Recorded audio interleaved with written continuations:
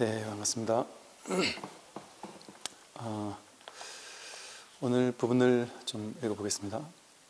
아, 나아가 천룡, 야차, 귀신, 재석천, 범천왕 등의 모습에 대해서도 공경하는 마음도 내지 말고 두려워하지도 말라.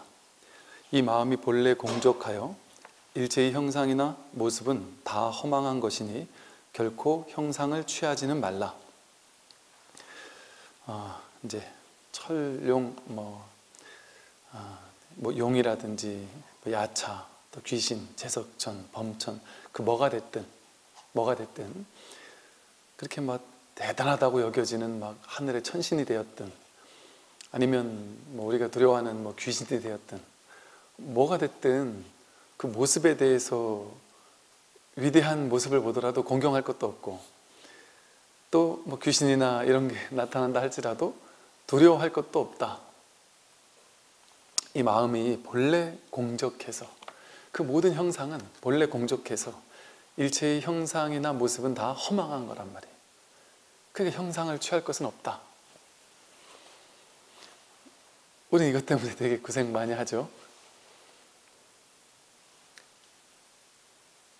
뭐, 하여간 좀 위대한 거 보면 수행하다가 기도하다가 뭔가 막 놀라운 체험을 한다든지 뭐 심지어 꿈에서 뭐, 뭐 대단한 분을 만나면 뭐 어떤 분은 나는 수행 중에 명상 중에 부처님을 만났다는 사람도 있고 뭐 어떤 천신을 만났다는 사람도 있단 말이에요. 꿈속에서 만날 수도 있고 또 뭐 기도 중에 만나기도 하고 혹은 막 환영을 보는 사람도 있잖아요. 그래서 울어요 이제 저한테도. 제 눈에는 자꾸 귀신이 보여요. 이런 사람도 있고요. 뭐 자신의 눈에는 하여간 이거 막 그냥 그 무서운 막 경계들이 보이는 거예요. 무서운 귀신도 등장하고 막 이런단 말이죠. 그러면 다 이제 벌벌 떤단 말이에요 사람들은. 그게 진짜인 줄 알고. 어, 하다못해 우리는 밤에 그 산소 공동묘지 같은 걸 지나가 못, 가, 못 지나가잖아요. 무서워서. 그 형상이 무서운 거 아니에요 형상이? 뭐가 나타날까 봐. 눈에 뭐가 나타날까 봐. 근데 이제 그 모든 형상은 그러니까 그러니까 불교 공부를 하면요. 아, 이것저것 하나하나 다 배워야 될 필요가 없어요. 이 본질을 딱 깨닫고 나면 근본을 딱 깨닫고 나면 두려울 게 없단 말이에요. 그러니까 쉽게 말해 우리는 이제 배워서 하는 공부면 분별해서 배워서 하는 공부라면 우리가 이제 배워야 될 게 너무 많아요.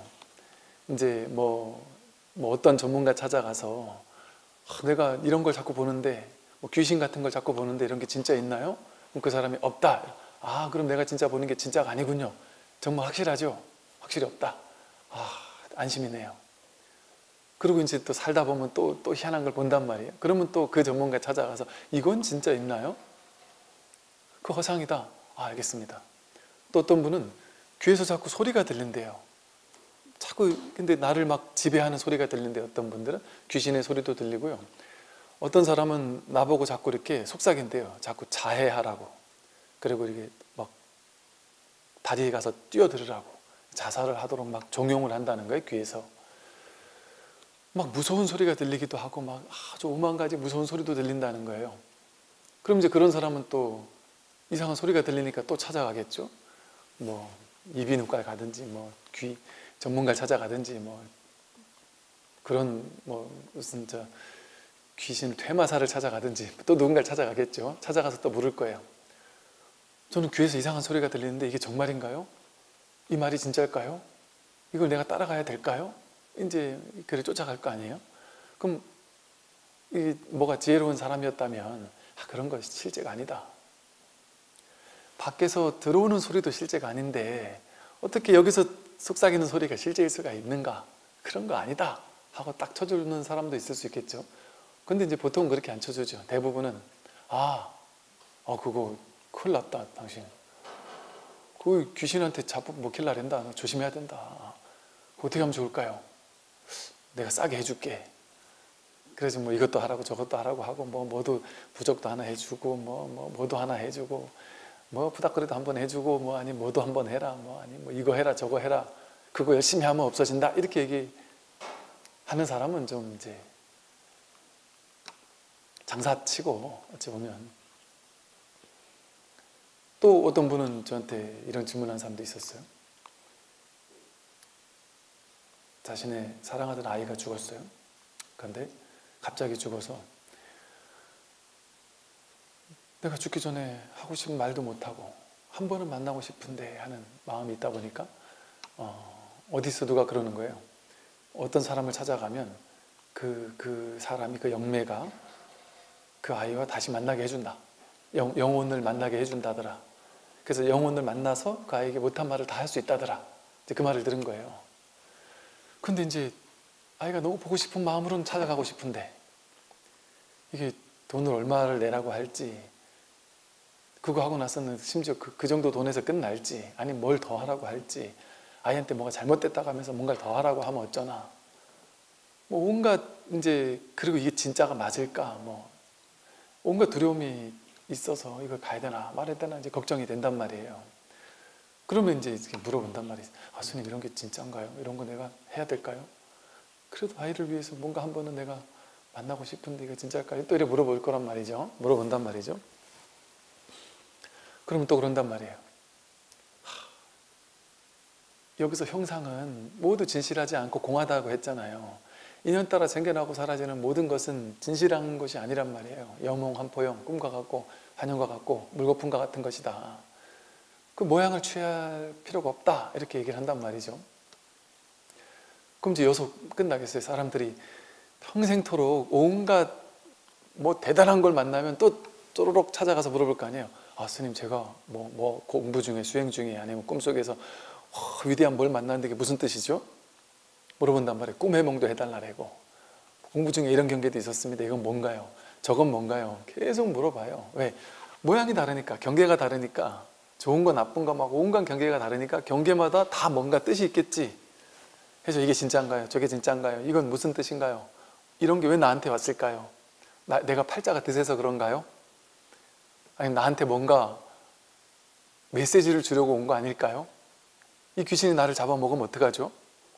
저는 스님 어젯밤에 그 가위를 심하게 눌렸는데 요즘 따라 갑자기 가위가 막 심하게 눌러서 아주 막 그 귀신의 몸짓이 그냥 느껴지기도 하고 때로는 나를 막 억누르는 것 같기도 하고 때로는 막 어둠의 기운 같은 것들이 나를 막 꼼짝 못하게 만들기도 했고 또 심지어 그런 사람도 있어요. 자는데 이상한 귀신이 와가지고 나를 겁탈했다. 귀신이, 귀신이. 온갖 종류가 많단 말이에요. 이 모양 쫓아가서 이건 무슨 뜻인가요? 저건 무슨 뜻인가요? 이건 뭔가요? 저건 뭔가요? 막 오만 가지 희한한 경계가 딱 나타나면 모양의 경계가 나타날 때마다 우리는 하나하나가 다 다른 경계인 줄 알고 다 뭔가 뜻이 있는 줄 알고 의미가 있는 줄 알고 그 하나하나를 다 해결하려고 맞서 싸웠단 말이에요. 알려고 하고. 그런데 이, 이 세상에 원리를 알면 쉽게 말해.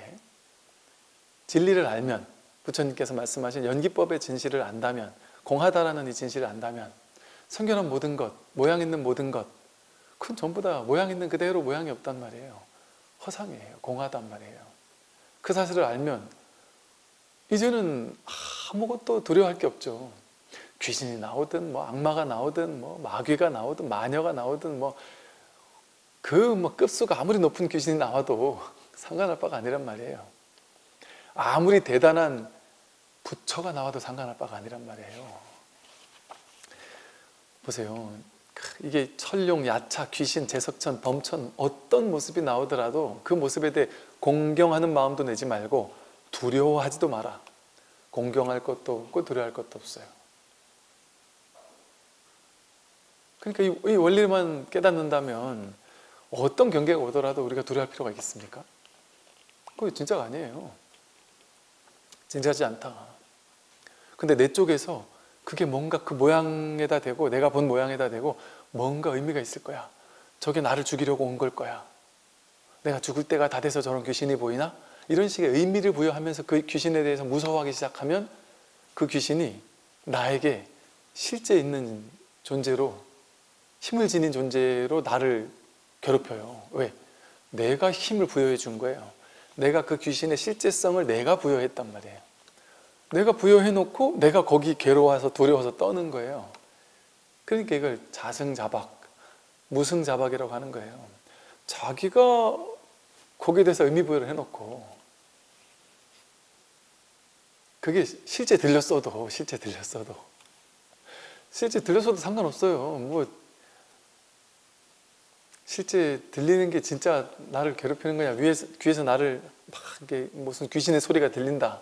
아니, 귀신의 소리가 들리나 바깥에서 빵빵 소리가 들리나 뭔 상관이 있어요. 그냥 소리가 들릴 뿐이지. 분별할 것 없이 그냥 들을 뿐이잖아요. 그 첫 번째 자리 딱 들음 이 자리에 그냥 있으면 아무 일이 없어요. 근데 두 번째 자리 떨어져서 내가 그 소리를 쫓아가가지고 귀신이 나한테 뭐라고 속삭였어요. 어이 저 심지어는 우리나라도 그런 분이 있고 심지어는 저 외국에 모 나라의 무슨 저 뭐 대사 하시는 분인데 그 그분 뭔지 뭐 가족분은 그 현지인인가 봐요. 그 현지인 뭐 어떤 분이 한국까지 오셨어요. 물어보러. 이거는 정말 이게 내가 어떻게 해야 될지를 모르겠습니다. 이게 뭔가가 뭔가가 있는 것 같은데 내가 도대체 뭘 해야 될지 모르겠습니다 하면서 뭔데요? 그랬더니 제가 얼마 전부터 꿈을 꾸는데 예지몽 같은 걸 꿉니다. 그런데 그게 이게 막 때로는 맞히기도 하는 것 같습니다. 근데 그 예지가 내 개인적인 예지가 아니라 국가적인 예지이거나 이 세계적인 예지 같은 꿈을 꿉니다. 뭐 세계가 이렇게 막 무너지는 꿈을 꾸기도 하고 어떨 때는 뭐, 뭐 세계적인 어떤 막 큰 어떤 막 강렬한 메시지 같은 것들을 막 받, 받는다는 거예요. 제가 어떻게 해야 되죠? 뭘 어떻게 하겠어요? 그냥 그럴 뿐이지. 그래도 스님 제가 이게 뭔가 맞을 때가 있는 거 보면 뭔가 제가 이것을 통해서 세상을 뭔가 구원해 줄 수 있는 뭔가가 있는 건 아닐까요? 아, 막 그렇게 생각이 되면 그럼 뭐 할 수 있는 데까지 해보세요 그러면 국가기관에 전화해서 내가 누군데 내 이런 꿈을 꿨다 조심하십시오. 아, 얘기를 한번 하세요. 그러면 진지하게. 그, 그 사람이 들으면 듣는갑다 하는 거고. 그 대신 말은 할 수 있지만 이 말을 안 들으면 절대 안 된다라는 그런 생각은 버리셔라. 또 어떻게 아는 자기 인맥을 통해서 누군가에게 어떤 영향이 있는 사람에게 얘기할 수 있으면 얘기해도 뭐 할라면 하셔라. 그거야 뭐. 내 인연 따라 한다는 걸 그러면 내가 막을 수는 없다. 그런데 이 말을 안 듣는 저 나쁜 놈들 저 바보 같은 놈들이 왜 내 예지를 못 믿을까? 그런 망상은 떨지 마십시오. 그 말을 듣고 비웃는 사람도 있을 거다. 그럼 그냥 그런갑다 하고 마십시오. 그걸 누군가가 또 귀담아 들으면 뭐 그걸 통해서 그게 진짜 있는지 없는지 모르지만 어쨌든 나름 뭔가 대비를 한다든지 좀 더 눈을 뜨고 뭔가 뭐 쓰나미가 오면 어떠지 하면서 그런 거에 대한 대비를 공무원들이 더 열심히 한다든지 뭐 이런 걸 할 수 있도록 변화시킬 수 있다면 막 그건 그런 것이니까 그게 무조건 절대적으로 옳다거나 절대적으로 어떤 메시지가 있다든지 그런 고정관념은 버려라 근데 내가 만약에 그런 정도의 위치에 있는 사람이 되어서 그런 사람들에게 야 조금 더 조심하게 해야 되겠습니다. 뭐 이런 얘기를 할 위치 정도에 있어서 그런 얘기를 할 수 있다면 그런 정도로 얘기할 수 있지. 그러나 그걸 듣든 안 듣든 그거는 이제 그 사람들 알아서 할 일이고. 그래서 아무리 위대한 예지몽을 꿨어도 그거를 사람들이 욕하는 사람이 많을 거죠. 아마도 보통은. 그럼 그런갑다 하는 거예요. 이게 아무리 진짜 확 들어막는 예지몽이었다 할지라도. 상관없단 말이에요 그런 걸 그런 거 가지고 내가 뭐 직무유기 아니야? 내가 이걸 얘기를 해가지고 세상을 바꿨어야 되는데 못 바꾼 게 내 탓 아니야? 그런 생각할 필요 없단 말이에요 전부 다 모양일 뿐이에요 모양일 뿐 뭐 의미 없습니다 세상에 이게 중요한 얘기예요 사람들은 다 의미를 찾잖아요 이건 뭔 의미일까? 내가 지난밤에 이런 꿈을 꿨는데 이건 무슨 의미일까? 세상에는 의미는 어디서 나올까요? 세상은 그냥 있는 이대로예요. 의미는 자기가 만들어내는 거예요. 사람에게서 나와요, 의미는. 그러니까 어떤 사람은 이런 예지몽을 꿨어요. 딱 얘기하면 어떤 사람은 와 뭔가 있나 보다 해서 와 내가 데뷔해야 되겠다 이런 사람도 있겠죠. 거기 끌려가는 사람은 또 어떤 사람은 미친놈이 다 있네? 이러고 지나가겠죠 그냥 아, 알았어 당신 예지몽이야 알았어 나 지금 그 들을 생각 없어 이러고 자기 일도 하는 사람도 있겠죠 그죠? 그런 거예요 세상은 왜? 사람에 따라 다른 거예요 왜? 그 뜻은 의미는 사람에게서 나오기 때문에 세상은 있는 이대로예요 폭풍우가 오는 게 뭔 의미가 있어요 폭풍우가 올 때가 되니까 오는 거지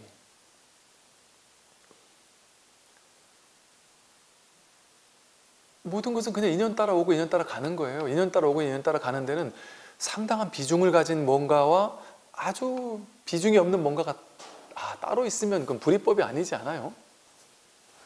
불이법이 아니잖아요. 이건 엄, 엄청난 메시지를 가지고 있고 이건 하나도 메시지 없는 거다. 이런 게 어떻게 있겠어요? 이 사람은 대단한 사람이고 저 사람은 대단하지 못한 사람이다. 그게 어디 있겠어요? 분별의 세계나 그런 게 있지. 이 자리에서는 다 부처인데요. 100%. 모든 행동은 하나하나가 다 성스러워요. 성스럽기로 따지면. 위대한 예지몽만 성스러운 게 아니고 그냥 돼지 꿈을 꿔도 성스럽단 말이에요. 그냥 모든 것이 그냥. 그러니까 자신이 뭐가 됐든 무엇을 했더라도 어떤 그 모양을 가지고 해석하고 판단해서 심각해지거나 거기 막 그냥 사로잡힐 필요는 없습니다. 그냥 일어나고 사라질 뿐이에요. 일어나고 사라질 뿐. 그게 생사법의 핵심이에요. 생사법. 생겨나고 사라지는 것들은 그저 인연 따라 생겨나고 인연 따라 사라진다. 끝. 다른 게 없어요. 그 뭐, 뭐가 있을까요? 뭐가 따로 있으면 따로 어떤 의미가 있거나 따로 뭐 원리가 있거나 따로 뭔가가 있, 있으면 뭔가 있는 거잖아요. 근데 여기서 뭐라 그랬어요? 이 마음은 본래 공적하다. 이 세상이 마음이거든요. 이 세상 전체가 마음이에요. 법신 부처님이에요. 본래 공해요, 공해.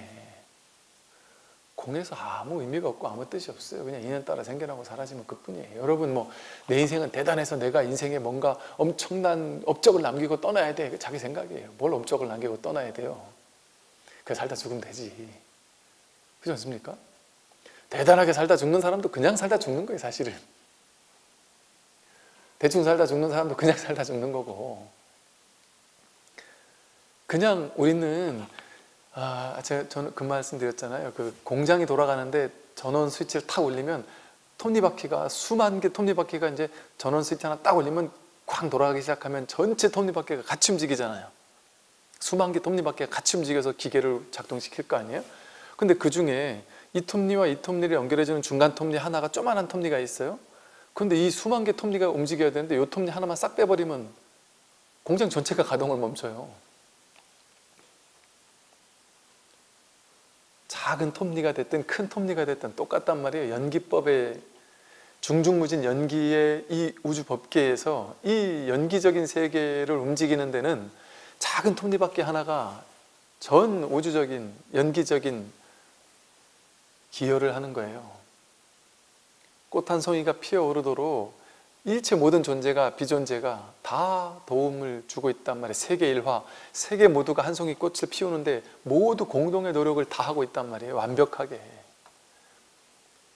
딱 자기 자리에서, 자기 자리에서 내 일을 하는 것을 통해서 우주 전체 톱니바퀴를 이 우주 법계를 운행되도록 대기 대용으로 우주 법계 전체가 돌아가도록 내가 기여하고 있단 말이에요.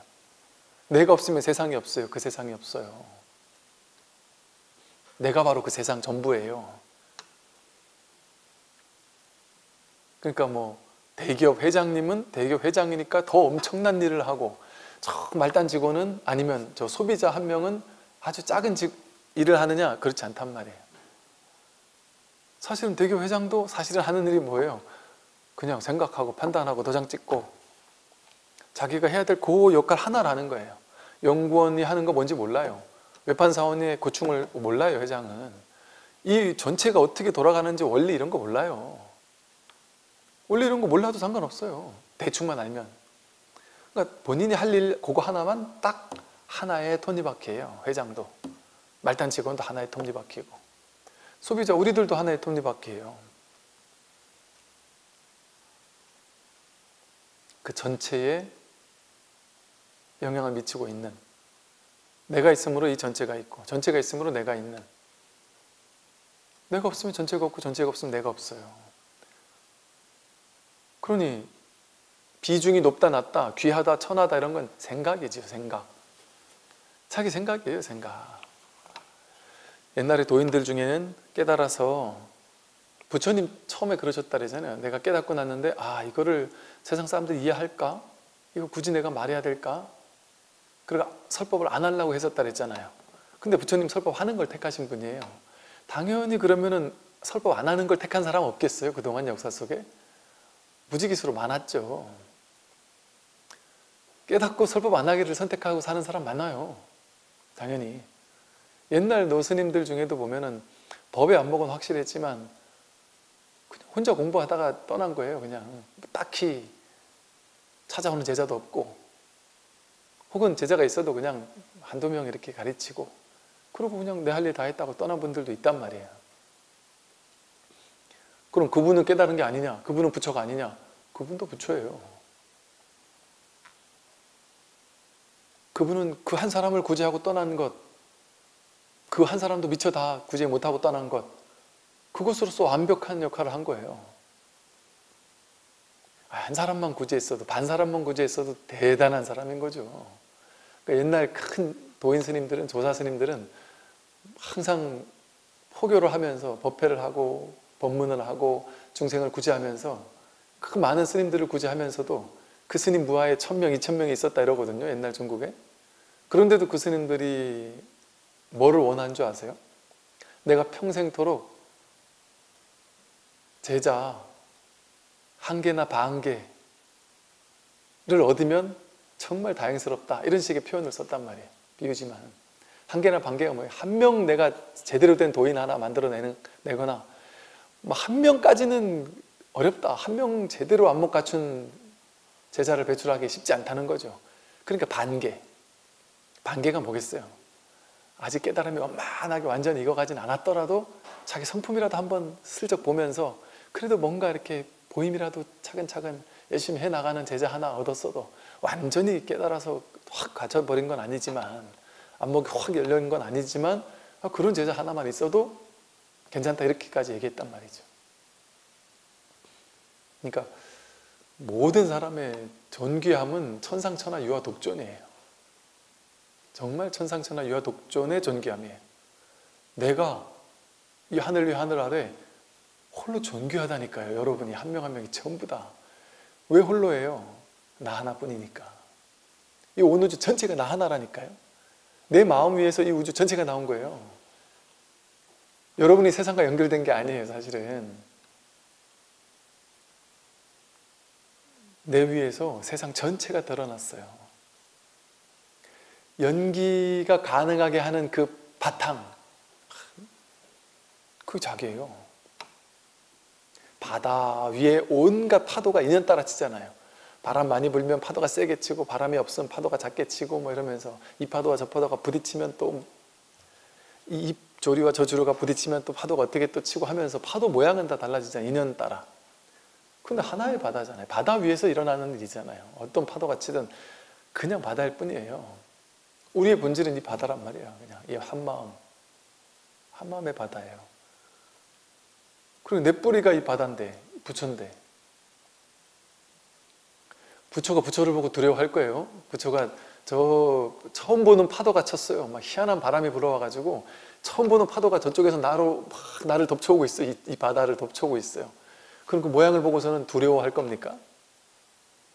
여기서 말하듯이 어떤 모습에 대해서도 공경할 필요도 없고 두려워할 필요도 없다.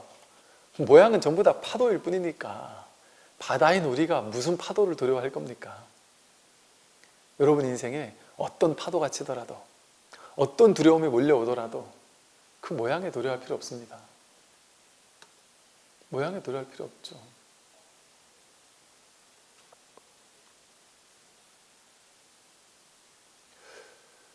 그 예를 들어 이러지 않을까요? 이제 자기 생각 속의 두려움에 막 빠져 있는 사람도 많거든요. 음, 막 세상 사람이 나를 막 공격할 것 같은 막 악몽을 맨날 꾸는 사람도 있고요. 또 막 내가 망하면 어쩌지 하는 두려움, 뭐 집안이 잘못되면 어쩌지 하는 두려움, 막 이 생각이 자기를 막 그냥 막, 막 괴롭히거나 또 뭐 연예인들은 그런다 그러죠. 이렇게 세상 사람들이 다 욕을, 나를 욕할 것 같고 내가 더 이상 세상에 살 수 없을 것 같고 막 이런 두려움에 빠지는 사람들이 있다 그래요. 그래서 막 집 밖을 못 나가겠는 거예요. 두려워서. 근데 예를 들어 그 사람이 그 온갖 막 그냥 사람들이 댓글로 욕을 하고 있는 상황이라도 그 사람이 문득 하, 내가 내가 여기서 내가 못 살겠구나 해서 그냥 혼자 여행을 떠나서 저 지리산 한자락에 가 있다든지 허름한 집을 한채 짓고 거기서 그냥 있다든지 아니면 저 히말라야 산속에 들어가 가지고 그냥 긴긴 트레킹을 한다든지. 제가 히말라야를 한 달 이렇게 트레킹을 해보니까 야 정말 시간 여유 있고 하면 지금처럼 이렇게 내가 한두 달밖에 시간이 없었으니 조금은 어찌 보면 조금 빨리 걸어 다녔는데 야 나중에 뭐 이렇게 시간 있으면 인도나 히말라야 같은 데 들어가서 그 이게 한, 한 두세 시간 거리에 하나씩 롯지 이렇게 게스트하우스가 있거든요. 허름하지만.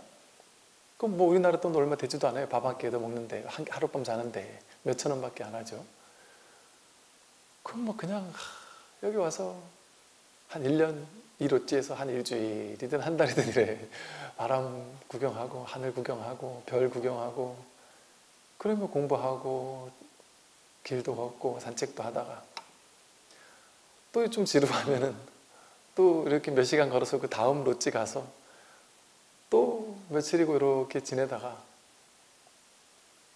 어 이를 살면 얼마나 좋겠다는 생각을 한 적이 있었거든요 예를 들어 그렇게 막 두려웠던 사람이 갑자기 그렇게 산으로 쏙 들어갔다 생각해 보세요? 그러면 그리고 스마트폰 버리고 갔다 생각해 보세요. 그러면 스마트폰 속에서 엄청난 사건이 벌어지고 있었는데 막 예를 들어 주식 때문에 막 죽을 것 같은 사람들이 주가 상승 하락 때문에 내가 전재산 10억이었는데 막 8억을 날렸다 이래서 죽을 것 같은 사람들이 맨날 이거 주식 차트 보기만 해도 죽을 것 같은 사람이 다 그냥 다 돈이고 뭐 모르겠다 다 팔아버리고 그냥 상, 상, 히말라야 산골에 가서 그냥 혼자 그냥 하, 돈도 다 필요 없구나 다 내려놓고 그냥 거기서 이렇게 있다 생각해 보세요 그러면 문득 문득 고요해지지 않을까요? 이 모든 게 진짜가 아니었구나를 문득 그 속에서는 자각하지 않을까요? 너무 고요하니까 제가 옛날 히말라야 갔을 때 하, 이, 이 뭐지? 왜 이렇게 세상이 고요하지? 왜 이 세상에 아무 일 없지? 내가 한국에 있을 때 이 일, 저 일, 온갖 일들이 있었던 게 아무 일이 아니었던 거예요 그냥 아무 일이 없는 거예요 그냥 그냥 푸르를 뿐이에요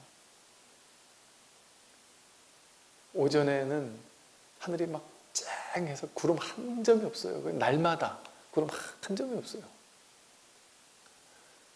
그리고 이제 오후 나절이 되면 어디서 이 파랗고 이렇게 새파란 하늘 쨍한 곳에서 도대체 어디서 이 구름은 나타났을까 싶을 정도로 오후 나절이 되면 희한하게 구름이 또 하나둘씩 모여들어요.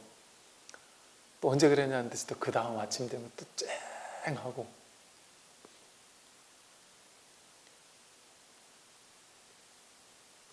우리가 일상을 살다가 여행을 떠나고 자꾸 여행 가고 싶은 이유가 뭐예요?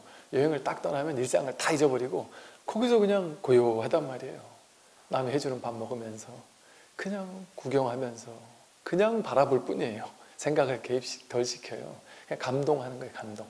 하루하루 그냥 감동하는 거예요. 보면 새로운 거 보면서 모를 뿐 하는 새로운 데 가니까 새로운 데서 새로운 것에서 모를 뿐 하는 마음으로 고요한 마음으로 그냥 볼 뿐이잖아요. 삶이. 그게 행복이잖아요. 그럴 때 행복하거든요, 우리는. 생각 속을 거닐다가 그 생각을 탁 멈추고 그냥 고요한 가운데 있을 때그 여행만 떠나도 고요해지는 이유가 거기에 있어요. 그런데 사실은 일상이 여행이에요.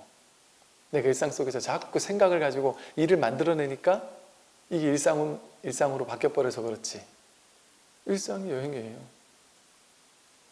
그냥 문득 하늘을 바라보고, 문득 노을을 바라보고, 문득 산책을 즐기고, 뒷산에 피어나는 초록의 물결들을 무견히 바라보고 그럴 때 그럴 때가 고요함이고 그럴 때가 문득 쉰단 말이에요. 자연 속에 들어가 있으면 세상이 갑자기 허, 조용해져요. 고요해져요. 저는 하다못해 서울 부산 왔다 갔다 할 때 차를 타고 이렇게 오고 가잖아요. 근데 그냥 가만히 이렇게 있으면 그냥 이 자동차 소리 웅 하는 그 자동차 소리 그게 이렇게 확 살아 있어요. 그 순간에 그냥 이렇게 그웅 하는 자동차 소리가 이렇게 배경으로 쫙 깔린 어떤 백색 소음처럼 쫙 깔리면서 오고 갈 때 주로 이제 서울 올라올 때가 주로 법회 끝나고 올라오니까 노을이 다 항상 이렇게 해가 떨어지는 때를 보거든요. 그럼 그냥 무견한 차 소리 우웅 하는 소리에 두 눈에는 하늘이 아주 노을이 아- 아름답게 이 세상을 수놓고 있어요. 아무 일이 없어요. 그냥 그럴 뿐이지. 아, 세상에 그 어떤 것들이 여러분을 세상이 그대를 속일지라도 세상이 그 어떤 모양을 가지고 여러분을 두렵게 하거나 괴롭게 할지라도 그것은 공해요. 텅 비었어요. 아무 일이 없어요. 거기에 공경하는 마음, 위대한 뭔가를 봐도 공경하는 마음을 낼 필요 없습니다.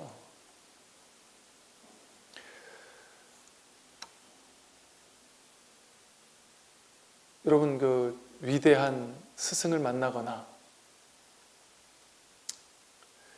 뭐 이제 어제도 뭐 스승의 날이라고 해서 뭐 우리 법우님들이 뭐 스승의 날 노래를 막 불러주시고 뭐 이래저래 막 그러신데 이제 이게 저는 이제 좀 오그라든달까? 그래서 그냥 어쨌든 최소한 당신들이 막 그냥 좋아서 하시니 제가 뭐, 아, 뭐 아무 말은 안 하지만 이게 진짜 스승은요. 여러분이 만약에 부처님을 만났어요. 여러분이 부처님을 만났습니다. 이게 이제 두 가지 측면이 있단 말이에요. 첫 번째 측면은 아, 부처님이 아니라 모두가 스승이죠 그런 면에서는 스승을 내가 이렇게 막 이게 막 그 현실에서는 그게 나쁘지 않다. 그게 뭐 그럴 수 있죠.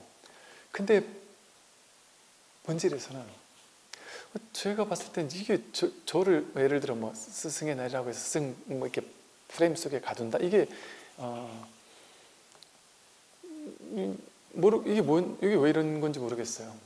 왜? 부처님이 오더라도 부처님이 오더라도 여러분 앞에 부처님이 딱 오더라도 여러분들이 막 와 내가 내 인생에 드디어 부처님을 만났구나. 와 부처님 같은 저런 위대한 스승을 만났구나. 그러면서 감동 어린 마음으로 삼배를 지극한 마음으로 삼배를 한단 말이에요. 삼배 받고 있는 저 사람이 부처님이겠어요? 이 삼배를 하고 있는 얘가 부처란 말이 삼배를 하고 있는 얘가 부처예요 저 스승은 스승이라고 여기면서 공경하고 있고 찬탄하고 있는 내가 부처란 말이에요. 내가 스승이란 말이에요. 내가 스승이에요. 자기가 스승이에요. 그러니까 우리 육조단경에서 육조 스님이 항상 제자들에게 선지식들이요 선지식들이요 이러잖아요. 그러니까 이제 뭐 현실은 현실이지만 우리가 이 낙천은 알고 그런 현실에 연극을 해야 되겠죠. 연극을 하더라도 낙천은 내가 저 스승에게 내 인생을 바치겠다. 뭐 저 스승만 보면 내가 가겠다. 뭐 이거를 너무 과하게 스승 프레임을 씌워가지고 내가 그 스승의 종속된 사람처럼 이렇게 만들어버리면 큰일 나요. 그러면 어떤 일이 벌어지느냐? 내가 스승이라는 것을 망각하게 돼요. 자기 스승을 못 보게 돼요. 왜? 바깥에 스승이 있으니까. 내가 귀해야 할 저 스승이 있으니까. 저 스승을 쫓아가기 바쁜 사람은 자기 스승을 볼 수 있겠어요? 자기 부처를 볼 수 있겠어요? 스승은 부처는 바깥에 있는데요. 그 사람 마음속에는. 그러니까 부처나 스승을 바깥에 두는 사람은 자기 부처를 볼 마음이 없는 거예요. 물론 이제 다 알면서 그렇게 끌려가지 않으면서 뭐 그럴 수는 있죠 당연히 그런 연극은 할 수 있죠 그러나 이제 진정으로는 그 형상에 있지 않다 부처도 그 형상에 있지 않습니다 자기에게 없는 건 이 세상에 없어요. 부처에게도 없어요. 여러분 말하고 보니까 명언이네요. 자기에게 없는 것은 부처에게도 없어요. 부처한테 위대한 뭔가가 있어서 내가 그를 얻어 갖고 싶다, 나눠 갖고 싶다, 나도 받아 갖고 싶다, 받아 지니고 싶다 그런 거 없습니다. 자기한테 있는 걸 그냥 확인하는 거예요. 스승을 통해서. 스승은 뭘 해주는 사람이에요? 부처가 뭡니까? 진리가 뭡니까? 아이, 나 얘기 안 한다. 얘기해도 안 믿을까봐 얘기 안 한다. 어, 내가 얘기하면 믿을 수 있겠니? 이래 물어봐요. 아이고, 스승님이 하시는 말씀인데 어찌 안 믿겠습니까? 아이, 그래도 얘기를 해줘야 되나? 어차피 안 믿을 건데. 아, 그러지 말고 얘기해 주십시오, 스님. 부처가 뭐, 누굽니까? 뭐가 부처입니까? 너다. 이거다 한단 말이에요. 이렇게 차 한 잔 마신단 말이에요. 자기 부처를 찾아야 돼요. 자기가 완벽하게 갖추고 있어요. 그 완벽하게 갖춘 것을 심지어 지금 매 순간 활용하고 있어요. 자제하게 활용하고 있어요.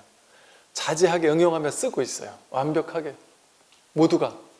그러니까 부처라고 말만 하는 게 아니라 증거를 본인 스스로가 매 순간 보여주고 있으니까 부처인 거예요. 정말 부처인 거예요. 그러니 부처가 어떻게 모양을 두려워하겠습니까? 바다가 어떻게 파도를 무서워하거나 공경하겠습니까? 바다가 파도를 공경할 필요가 있어요. 파도를 두려워할 필요가 있습니까? 나라는 파도가 저 파도를 뭐하러 무서워해요? 뭐 용이 나타나든 귀신이 나타나든 제석천이 나타나든 공경할 필요도 없고 욕할 필요도 없단 말이에요. 두려워할 필요도 없단 말이에요. 다 허상이에요, 여러분. 귀신 만나도 재밌게 가지고 노세요, 그냥 귀신하고 재밌게. 난생 처음 본 거잖아요. 얼마나 재밌어요, 얼마나 새, 새로울 거 아니에요? 그럼 귀신 뭐 하나 하고 지켜보세요, 그냥 재밌게. 어차피 저거는 그냥 아무것도 아니니까. 귀신 나를 못 잡아먹는다니까요. 나를 못 괴롭힌다니까요. 귀신이니까. 귀신도 또 다른 난데 어, 귀신이 어떻게 나를 해코지 해요? 안 그렇습니까? 귀신은 진의 세계가 있잖아요. 귀신이 어떻게 인간을 파동이 다른데 살고 있는 삶의 파동이 다, 다른 세계를 살고 있는데 어떻게 귀신이 우리를 괴롭힐 수가 있겠어요? 내가 두려워하면 그 귀신에게 먹혀요, 당해요. 그러니까 어, 제가 어릴 때 그 그 가위 눌렸을 때 보니까 이러더라니까요. 내가 무서워하면 무서워할수록 그놈이 나를 더 세게 누르더란 말이죠. 내가 두려워하니까. 근데 어느 날 법문을 듣다가 대학교 때 과외가 막 나를 누르고 있는데 문득 막 싸우다가 막 버티다가 문득 아 법문 들은 게 생각나가지고 아 이게 상인데 금강경에 말하듯이 다 허상인데 상인데 상에 내가 뭐 이럴 필요가 있나 이게 또 다른 또 다른 난데 이게 또 다른 부처인데 여기 내가 막 끌려다닐 필요 있나? 마음대로 해라. 네가 날 죽이든 살리든 네가 날 죽일 수도 없다던데 모르겠다 하고 그냥 탁 놔버렸어요. 마음으로 마음으로 네가 날 죽이든 살리든 마음대로 해라. 막 뻗팅기다 말고서 문득 탁 놔버렸더니 보통 이제 가위 눌렸던 게 빠져나갈 땐 스르륵 빠져나갔거든요. 천천히 빠져나갔던 것 같아요. 그전에는. 근데 제가 문득 한 생각 탁 놔버렸더니 그냥 깜짝같이 확 사라져버린 거예요 얘가 무슨 말이겠어요?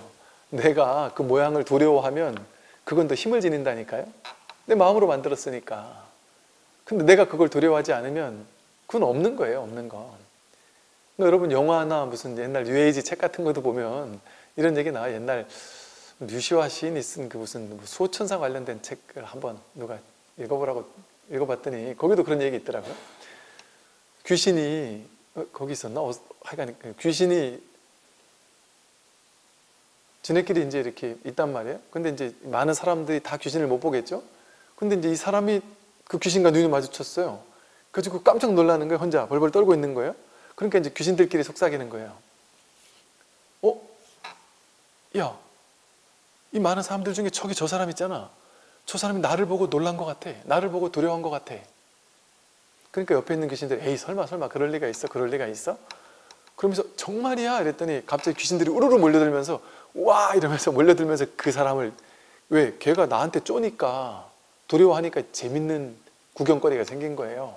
그러니까 이제 귀신들이 막 그냥 무서운 표정을 하면서 그 아이 그 사람에게 쫓 다제 다가간단 말이죠. 그 사람은 사- 딴 사람들은 아무것도 모르는데 그 사람 혼자 막 두려움에 떤단 말이에요.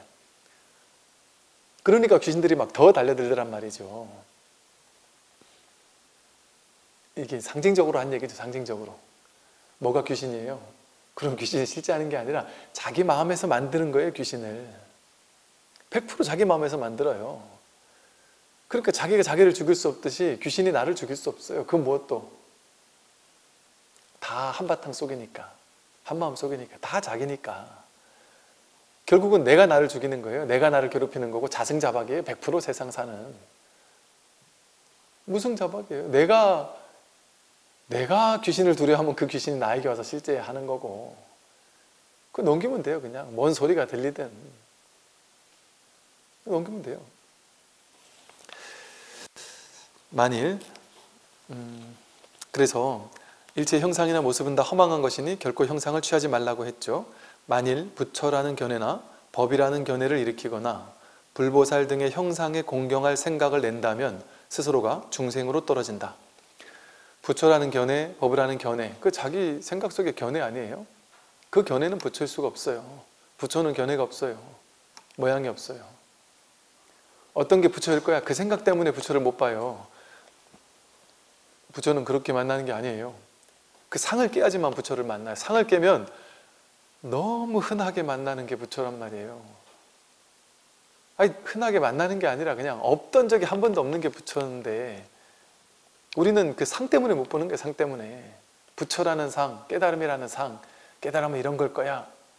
그것만 없으면 약견, 재상, 비상이면 직견열애 상이 상이 아닌 걸 딱 보면 직견열애라 그러잖아요. 상만 없으면 전부 다 부처인데 우린 자꾸 그 상의 얽매이니까 부처를 못 보는 거예요. 너무 단순한 거라니까 이 공부는. 불보살 등의 형상에 공경하는 마음을 낸다면 스스로가 중생으로 떨어진다니까요. 부처를 만나면 현상에서는 부처님을 공경하고 절을 해야지요.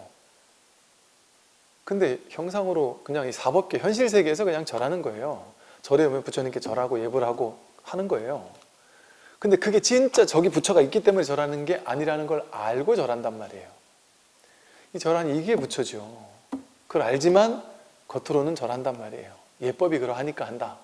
황벽 스님이 깨달아 부처란 말이에요. 근데 그 저 저 왕자가 나중에 황제가 될 사람이 삼위승으로 이제 절에 들어와 가지고 절 생활을 하고 있었어요. 근데 그, 그 삼위승이 황벽 스님한테 그 큰 스님한테 지가 왕 될 사람이니까 이제 그렇게 당돌하게 물어보는 거겠죠. 스님, 황벽 스님이 절에 와서 절을 하는 걸 보고서는 스님, 스님 같은 분도 저 형상의 부처에게 절을 하십니까? 그래야 됩니까? 이렇게 대뜸 물어본단 말이에요. 그 황벽 스님이 일상의 예법이 그러하니 이렇게 한다. 이렇게 얘기를 한단 말이에요. 이게, 이게 하고 안 하고가 이게 여기에 진짜 뭐가가 달린 게 아니라 내가 진짜 절을 많이 하면 더 신심 있는 사람이고 더 부처를 공경하는 사람이라서 하는 게 아니라 이상의 절의 예법이 그러하니 하는 거란 말이에요. 이거 뭐 하든 안 하든 그게 중요한 게 아니란 말이에요. 그걸 아는 사람은. 그러니까 이게 낙처를 알고 기도도 하고 연불도 하고 독경도 하고 다 하란 말이죠. 저도 요즘에 이렇게 TV를 보다 보니까 어떤 연예인이 뭐 절에 열심히 다닌다, 뭐 불자다 그러니까 되게 반가워가지고 저도 연예인들이 불자라면서 막 이렇게 하니까 반가워서 이렇게 보게 되더라고요. 그 나 혼자 산다에서 여자 아이들인가 그, 그 걸그룹 걸그룹 애가 소연이라는 애가 그 절에 가서 아니, 걸그룹이 절에 가는 것도 기특한데 어, 이 친구가 절에 가가지고 천수경을 펴서 독송을 하더라고요. 그래서 야 이게 이게 이게 직업병이에요. 우리 우리들은 이게 괜히 모습은 젊은 친구들이 특히나 이런 사람들이 이렇게 기도 열심히 하는 모습 보면 기특하고 예뻐요. 그런데 또 옛날에 뭐 무슨 어떤 사람들이 어떤 사람들이 보면 막 이렇게 절에 와서 열심히 기도하고 하는 모습 보면 되게 기특하고 예뻐요. 그런데 이제 그 그런 사람들 중에 그런 사람들 많이 보는데 그런 사람들 중에 이제 이 좀 다른 것 같아요. 이렇게 대부분의 많은 사람들은 아직까지 불교가 뭔지 잘 모르는 사람들이 막연하게 불교를 좋아하는 사람들은 그냥 불교의 고요함, 뭐 집착을 내려놓고 그냥 조용하고 이런 게 좋아서 그냥 절에 가는 거예요. 그냥 이미지. 절에 가면 그냥 편안하고 왠지 모르게 그냥 독경 소리가 좋고 그래서 가는 거예요. 그러니까 그것도 좋단 말이죠. 근데 이제 거기서 한 발 더 탁 나아가면 너 얼마나 좋을까 하는 생각이 들어요. 왜냐하면 주로 이제 그 초보적인 단계에서의 불교를 어떤 신행하는 사람들은 어, 이런 사람이 은근히 많더라고요. 내가 열심히 불교를 믿고는 있는데 그러면서 동시에 뭔가 무슨 뭐 타로 점도 보고 또 무슨 뭐 점도 치고 뭐 운수도 한번 보러 다니고 뭐 절에 열심히 기도하면 어떻게 뭔가 좋은 일이 있을 거라는 어떤 그러니까 전형적인 기복 내지는 어떤 의지처로 느끼는 거죠. 내가 미래에 어떻게 잘 될까요? 안 될까요? 이런 걸 알고 싶은 거예요. 이제 그런 욕망이 있다, 있다 보니까 그것과 불교가 결이 비슷하다고 느끼는 거예요, 사람들이. 그러니까 이제 그런 초보 단계의 신앙하는 마음으로 불교를 찾는단 말이죠, 처음에는. 근데 그것도 고맙죠. 그렇게 시작하니까. 그것도 나쁘다는 게 아니라 그것도 좋은데 그러면서 이제 이 불교는 그 종교학자들이 다 그런 얘기를 하잖아요. 종교학자들이 하는 얘기가 모든 종교는 다 처음에는 그런 이제 유치원생 수준의 낮은 단계의 기복적인 어떤 이런 수준에서 종교를 시작한다. 그러나 거기서만 머무는 사람들이 있고 거기서 머물지 않고 여기서 심층 종교로 나아가는 사람들이 있다. 그게 진짜 종교를 진짜 종교를 만나는 사람들인데 이 표, 표, 표피 종교, 표면적인 모양만 보고서 그 종교가 이럴 거야 라고 하면서 그 표피적인 종교 신행에 멈추는 사람은 그건 진짜 종교가 뭔지는 모르는 사람이다 그러거든요. 그래서 불교도 이렇게 표면적인 어떤 기도하고 신행하고 뭐 그러면서 아이 옛날에 보면 부사님들 절에 와서 열심히 기도하고 뭐 백중 때, 뭐야 동지 백중 때도 그렇고 또 특히 입춘 이럴 때 있잖아요. 오전에 절에 와가지고 입춘 대길 쫙 받아가지고 가가지고 오후에는 이제 우르르 보살님들이 모여가지고 용하다는 점집 우르르 가요. 이 점집 저 점집 입춘 때 이제 한 해 시작하면서 어디 가면 내가 좀 더 점 잘 봐주나 하고 간단 말이에요. 근데 저한테 비밀로 하더라고요. 제가 그런 거 하지 말라고 막 하니까 저한테 비밀로 하고 가더라고요. 제가 언젠가는 입춘 부도 안 드렸어요. 부적 같은 느낌이 들어서 그거에 끄달려 가지 마. 그 종이떼기 하나 집에다 걸어놓는다고 그게 뭐 그렇게 그 의지가 하려고 그렇게 하십니까? 하지 마시죠 하고 이제 우리 절 안 합니다 이렇게 했단 말이에요. 그랬더니 오전에 기도하고 오후에 이제 딴 데 가더란 말이에요. 전보로 가가지고 거기서 사더란 말이죠. 입춘부를 사더란 말이에요. 그래서 아이 어차피 저렇게 사실 거면은 내가 드리자 그래가지고 이제 누구한테 이제 입춘 대길 뭐 이런 식으로 그냥 한문으로 써달라고 써달라 그래서 그거 정도는 그냥 그 다음부터 드리고 있어요. 아니 딴 데 가서 또 어차피 또, 또 받을 거니까 혹은 아니면 그냥 경전 다란이든 뭐 경전이든 이런 거를 딱 적은 적은 종이 그거 그냥 편지지 요만한 예쁜 편지지에 경전이나 이런 거 탁 적어놓은 그거 그냥 이렇게 접어서 드려요. 이건 부적은 아닙니다. 경전의 가르침입니다. 하고 그냥 이렇게 입춤 영 아쉬운 사람들을 위해서 그러니까 그게 또 방편이죠.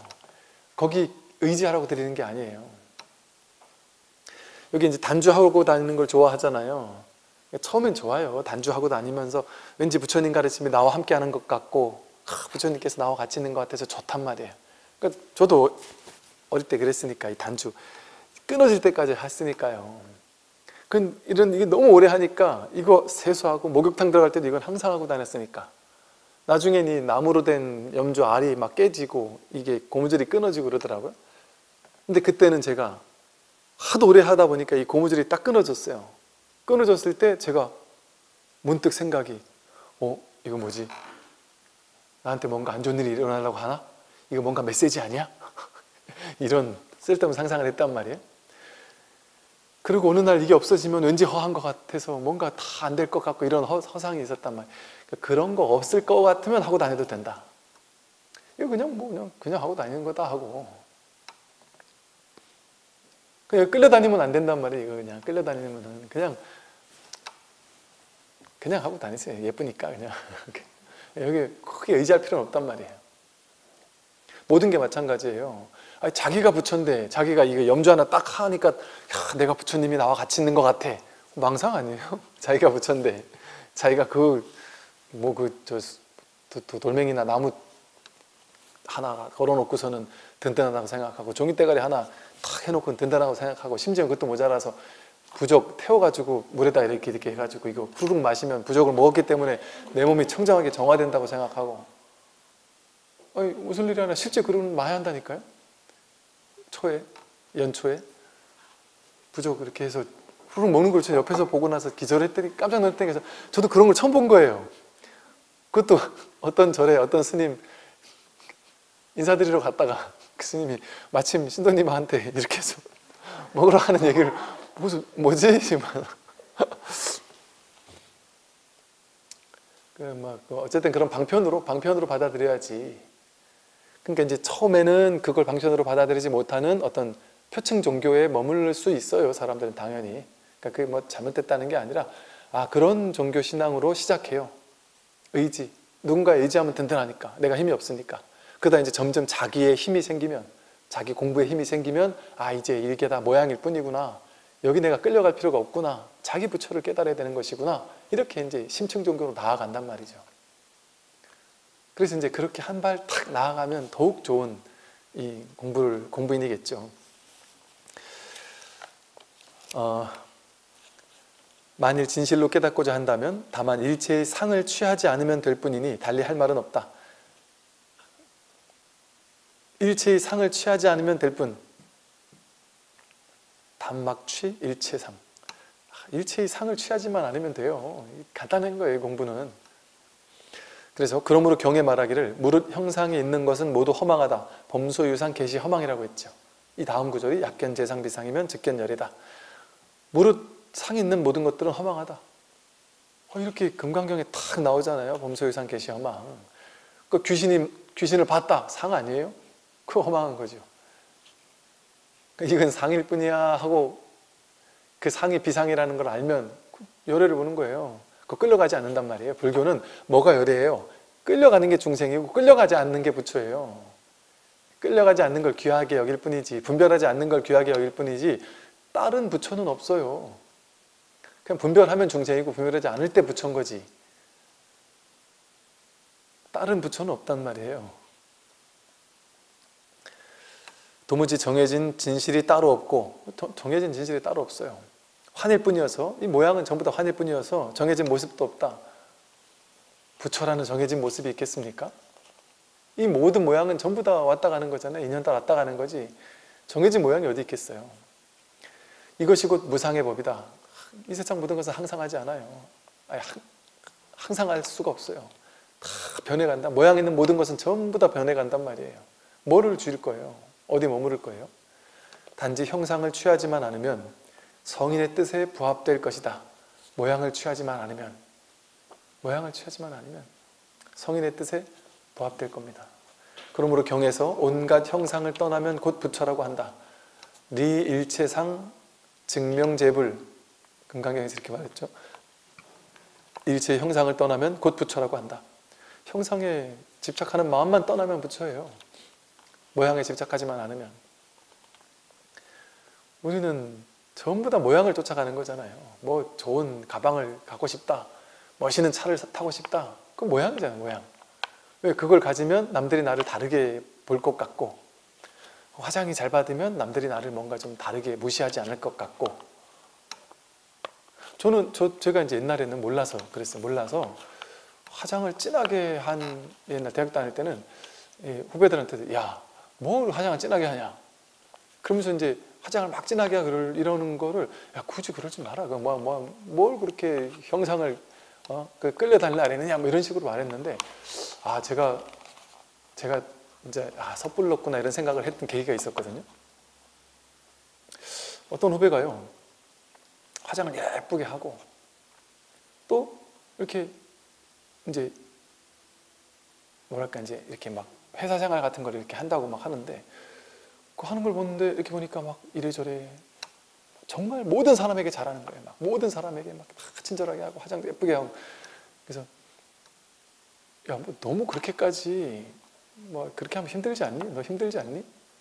그럼 뭐 대충 대충 살아. 좀, 좀, 좀 편케 살아.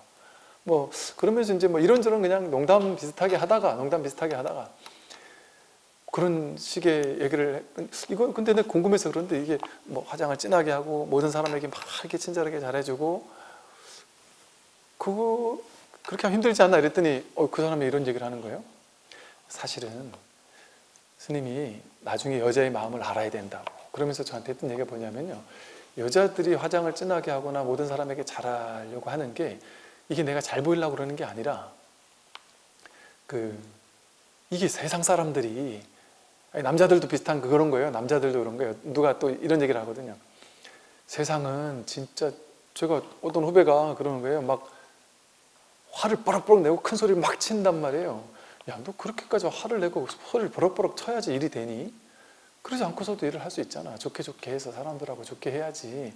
그때 또 그 친구가 이러는 거예요. 그 똑같은 거더라고요. 이 친구가 하는 말이 그런데 세상은 세상 살아보니까 세상 사람들이 다 이게 이 스님 같지가 않아서 세상 사람들이 가는 말이 세면 오는 말이 부드러운데 가는 말이 부드러우면 오는 말이 험, 험해, 험하대요. 부드럽게 얘기하면 무시한다는 거예요, 사람들이. 근데 내가 한번 세게 얘기하면 사람들이 무시를 안 한다는 거예요.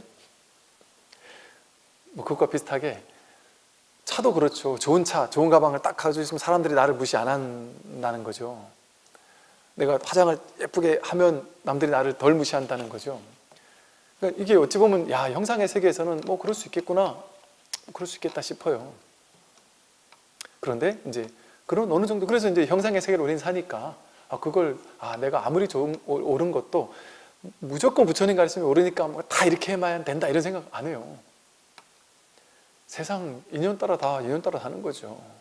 제가 어느 날인가 누가 그러시더라고요. 어떤 고사님이 괜히 절에 갈 때는 스님한테 혼날까봐 그 집에 있는 그 비싼 외제차를 못 타고 오겠다고 눈치 보여서 신도님들이 괜히 이렇게 그럴까봐 그래서 그 고사님께서 아 고사님 제가 뭘 아, 제가 그렇게 보였나요? 그렇다면 제가 죄송합니다. 인연 따라 사는 거죠. 그, 그, 그걸 가지고 뭘, 뭘, 뭘 시시비비하고 그러지 않는단 말이에요. 뭘 해도 괜찮단 말이에요. 뭘 해도 상관없죠. 근데 제가 이렇게 말씀드리는 건 그게 잘했다 잘못했다 말씀드리는 게 아니라 내가 그걸 하더라도 겉으로는 그걸 하더라도 겉으로는 그걸 하더라도 마음에서 아 형상을 넘어설 수 있는 그게 어떤 예의고 예법이니까 혹은 세상 살아가는 어떤 삶의 어떤 그냥 좀 이렇게 방식이니까 사람들이 대부분이 그렇게 하는 방식이니까 그렇게 한다. 아 그럴 수 있겠구나. 하면서 나도 그렇게 살더라도 내가 딱 근원에서는 아 형상을 형상에 끌려다니지 않고 살 수 있는 사람 그런 사람이 될 수 있단 말이죠. 그래서 뭔가 진짜 갖고 싶은 사람이 예를 들어 이렇다 돼요. 돈이 없는 사람은 진짜 너무 갖고 싶어 한대요. 근데 돈이 너무 많아서 언제든 살 수 있는 사람은 굳이 그걸 갖고 싶어 하지 않는데요. 언제든 언제든 마음껏 살 수 있으니까.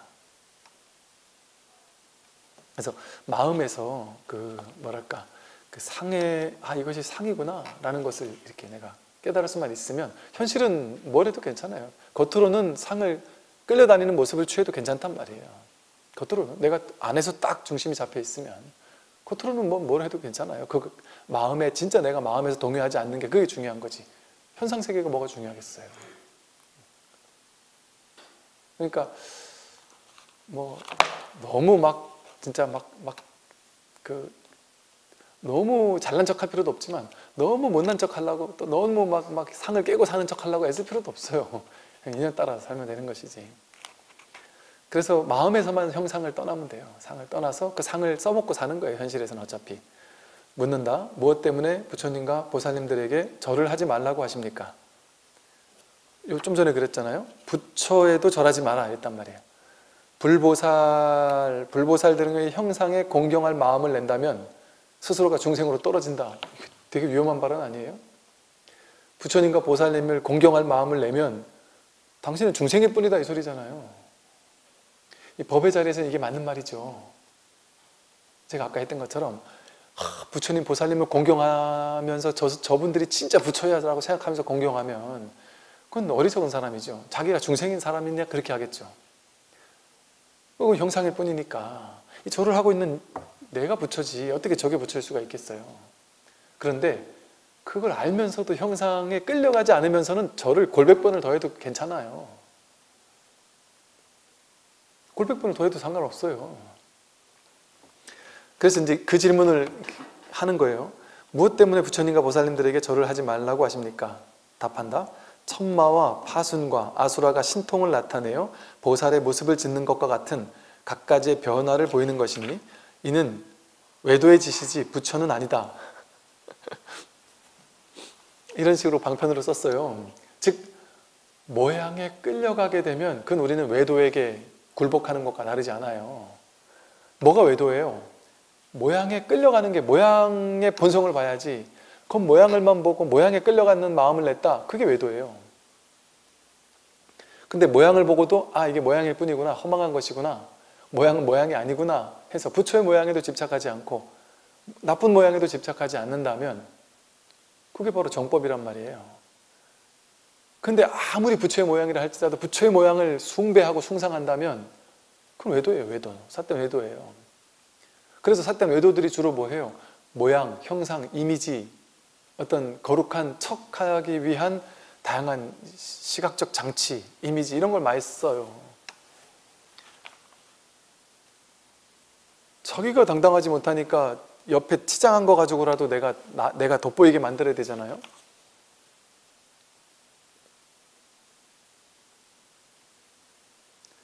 저희 아버지하고 제 어릴 때 이제 그 맨날 삽질을 하고 노가다를 했으니까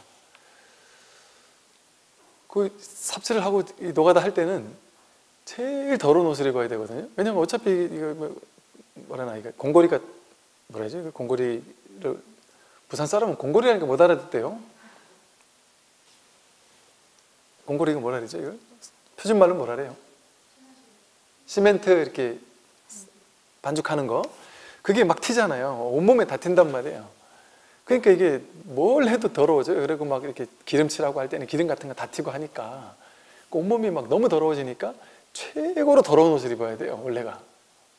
그러니까 최고로 더러운 옷을 입고 항상 일을 한단 말이에요. 어, 근데 바쁜 와중에 급하게 누가 막 그냥 어디 뭐 뭐 다방에서 만나자고 했다는 거예요 아버님을. 그래서 아버님이 급하게 잠깐 잠깐만 그냥 잠깐 가서 만나고 온다고 하면서 그러고 그냥 가셨다가 이렇게 오시다가 이러면서 500원짜리 하나 보여주시면서 야 내가 참 다방에 들어가려고 했더니 이걸 주더라고.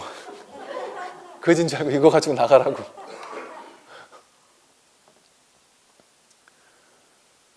근데 그냥 괜히 제가 중2 때부터 절을 열심히 다녔어요. 중2 때 완전 절에 꽂혀가지고 정말 막 열심히 다녔어요. 그때 그냥 괜히 막 이제 그 어린 나이에 막 불교를 공부하고 막 부처님을 믿고 하니까 막 세상 무서울 게 없는 거예요 막 그냥 너무 좋은 거예요 그 그때는 제가 막 그냥 아버님하고 같이 이렇게 노가다 뛰면서 온몸에 더럽고 막 온몸에 다 이런데 이제 그 상황에서 경운기를 몰아서 막 시내를 다니고 한단 말이에요. 그러면 막 그 더러운 온몸에 완전 거지 같은 거를 하고 경운기를 타고 탁 이렇게 갈 때, 그 괜히 막, 막 멋, 제, 제가 제 스스로 막 멋있는 거예요. 막. 분별은 이런 거예요. 어떨 때는 그렇게 막 거짓걸로 하고 있는데 스스로 멋있는 줄, 줄 알고 막 산단 말이에요. 어떨 때는 막, 막 양복으로 쫙 빼입고 막 멋있게 막 갈 때가 멋있는 줄 알기도 하고, 그죠? 한 생각 차이잖아, 한 생각 차이. 어떤 생각일 때는 저는 그렇게, 그렇게 막 부모님을 이 젊은 나이, 어린 나이에 이렇게 도우면서 이렇게 열심히 일한다는 게 되게 뿌듯했어요. 그런 생각을 할 수도 있잖아요. 한 생각, 한 생각이잖아요. 그 모양, 형상, 아주 안 좋은 모양을 뭔가 우리는 추앙할 수도 있거든요. 그러니까 모양에는 아무것도 없어요. 실제라는 게 없어요. 아무것도 없어요. 자기가 딱 명품인 사람은 자기가 딱 당당한 명품인 사람은 주변을 치장할 필요가 없죠. 그 집 꼴로 나가도 상관없죠. 누가 나를 막 대단하게 안 봐도 상관없죠. 관심 안 끌어도 상관없어요. 뭐 귀하게 여겨주 마음 안 가져도 상관없어요. 내 스스로 내가 존귀한데 뭐하러 남들에게 뭐 귀한 대접을 받아야 돼요? 식당에 가서 남들이 나한테 이렇게 대충 던져놔도 상관없어요. 그냥 먹으면 되는 건데 뭐 아, 괜찮아요, 괜찮아요 하고 말지. 근데 이게 자격지심, 피해의식이 많은 사람은 툭툭 던지고 가면 화를 발끈내시더란 말이죠. 세상 사람이 나한테 뭔 얘기를 하든 자기가 자존감이 딱 있는 사람은 거기에 크게 휘둘리지 않아요. 그래서 모양에 끌려가지 않는단 말이에요. 왜? 모양은 겉모습이잖아요. 생겨나고 사라지는 거잖아요. 그런데 모양이 아닌 이 진정한 자기는 모양을 넘어서서 완전한 청정함이거든요. 원래 부처거든요. 부처는 모양이 없는 걸 부처라고 하거든요. 그럼 이 자리에서 우리는 대평등이에요. 어떤 어떤 거에도 끌려갈 필요가 없는 자유로운 존재들이죠. 그래서 부처란 자기 마음이니 잘못 예배하지 마라. 자기 마음이 부처란 말이에요. 근데 누구한테 예배할 거냐 이 소리예요.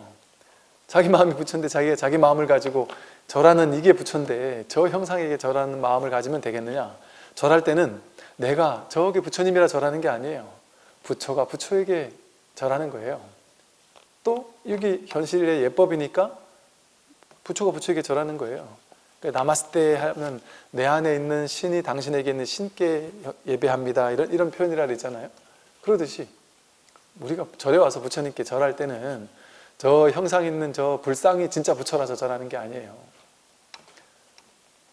나라는 부처가 둘이 아닌 저 형상의 부처에게 그냥 절하는 예법으로서 하는 거예요. 그러니 부처란 자기 마음이니 잘못 예배하지 마라. 그게 잘못 예배하는 거죠. 저게 부처고 나는 어리석은 중생이야 하는 마음. 그게 잘못 예배하는 거예요. 부처란 인도어이고 중국에서는 이를 각성이라고 하는데 깨달음의 성품이라고 하는데 여기서 각이란 신령스럽게 깨어있는 것이다. 신령스럽게 깨어있는 것 그게 부처예요. 이렇게 이, 걸 깨어서 듣지 못하는 사람이 어디 있어요? 신령스럽게 깨어있는 이 성품이 부처예요. 누구에게나 갖추고 있는 그래서 우리는 이 성품 각성을 늘 쓰고 있기 때문에 인연 따라 사물을 대하며 은기전물이라는 말이 선호록에 정말 많이 나오는 말이에요. 사물을 접할 때 사물을 접할 때마다 늘 이 하나의 기틀이란 말이에요. 이 기틀이란 말도 많이 쓰는 이게 하나의 법이란 말이에요. 이 우주 대기 대용의 이, 이 세상을 움직이는 이 하나의 법 하나 사물을 대할 때마다 바로바로 바로 그 법, 법이란 말이에요. 하나의 진, 진리의 기틀 그것을 확인한단 말이에요. 보면 볼 때마다 법 아닌 게 없단 말이에요. 법이 드러난다. 들으면 들을 때마다 법이 드러난다. 냄새 맡을 때마다 향기를 대할 때마다 인연 따라서 사물을 대할 때마다 어떤 경계를 대할 때마다 은기전물 모든 것을 대할 때마다 항상 각성 아닌 게 없어요. 또 이 말도 많이 써요. 양미 순목이래 가지고 눈썹을 치켜뜨거나 눈을 깜빡이는 것 이 얘기 선호록에 정말 많이 나와요. 눈썹을 깜빡이거나 눈썹을 치켜뜨는 것 눈썹을 이렇게 치켜뜨고 눈을 깜빡이는 것 어떤 스승은 제자가 법이 뭡니까 물어보면 눈만 껌뻑껌뻑했단 말이에요. 눈을 깜빡이고 눈썹을 치켰다는 이게 법이란 말이에요. 법이 이렇게 한단 말이에요. 법이. 이게 다 각성이 한단 말이에요. 각성이. 그래서 눈썹을 치켰다거나 눈을 깜빡이는 양미순목하는 이게 그대로 법이고 당연히 손발을 움직이는 거 그게 손발을 움직이는 것이 다 자기의 신령스럽게 깨어있는 본성이다. 눈썹 하나 움직이는 거 인연 따라 사물을 대하는 거 보고 듣고 냄새 맡고 맛보고 감촉을 느끼고 하는 거 이게 다 법이 법이 드러나는 거예요. 손발 움직이는 거 이게 다 자기 신령스럽게 깨어있는 본성이에요. 본성 이게 그대로 본성이에요. 성품은 곧 마음이고 마음이고 부처이며 부처가 곧 도이고 도가 곧 선이다. 선이라는 한 글자는 범부가 헤아릴 수 없다.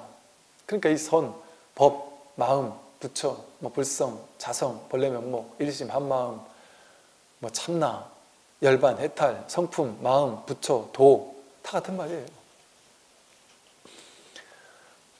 근데 이렇게 왜 말이 많을까요? 언어가 이거를 가리키는 표현이 많을까요? 하나만 얘기하면 되는데 얘는 컵 하나밖에 없잖아요. 이렇게 명확하게 모양이 있는 것은 하나면 돼요. 이름 하나면 충분해요. 그런데 모양이 있는 게 아니란 말이에요. 이 법은. 알 수 있는 게 아니고 내가 잡을 수 있는 게 아니고 그러니까 어떤 이름으로 이것을 구속할 수 없어요. 이름이 이거를 드러낼 수 없어요. 어떤 이름으로 해도 이건 아니에요. 그러니까 이렇게 얘기했다가 그걸 빼 이렇게 얘기했다가 거기 머물만 하면 그 얘기를 뺏는단 말이에요. 참나 이랬다 그 참나에 집착할 것 같으면 참나 아니야 이렇게 뺏는단 말이에요. 불성했다가 불성에 집착할 것 같으면 불성 뺏는단 말이에요. 그거 아니야 이런단 말이에요. 그또 다른 말을 써요. 자성했다가 또 뺐고 본래 면목했다가 뺐고 다 빼앗는단 말이에요. 그러다 보니까 이, 이, 이 자리를 가리키는 무수히 많은 불교의 다양한 용어들이 있는 거죠. 본성을 보는 것이 선이다. 본성을 보는 게 선이에요. 했으니 본성을 보지 못하면 선이 아니다. 설사 많은 경론을 설한다고 해도 본성을 보지 못하면 다만 범부일 뿐 불법은 아니다. 아무리 많은 경론을 자기식대로 머리에 지식을 가지고 불교적 지식을 가지고 설법을 한다고 해도 본성을 보지 못했다면 그는 다만 범부일 뿐 진정한 불법인 것은 아니죠.